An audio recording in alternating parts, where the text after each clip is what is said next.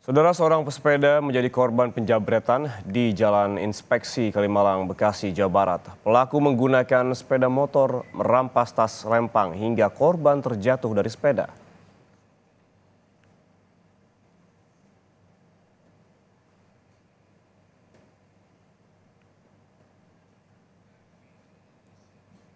Dari rekaman terlihat seorang sepeda menjadi korban penjambretan korban yang sedang bersepeda tiba-tiba didekati pengendara motor tanpa plat nomor. Pelaku langsung merampas tas lempang kecil yang digunakan korban. Korban yang terkejut akhirnya terjatuh dari sepedanya.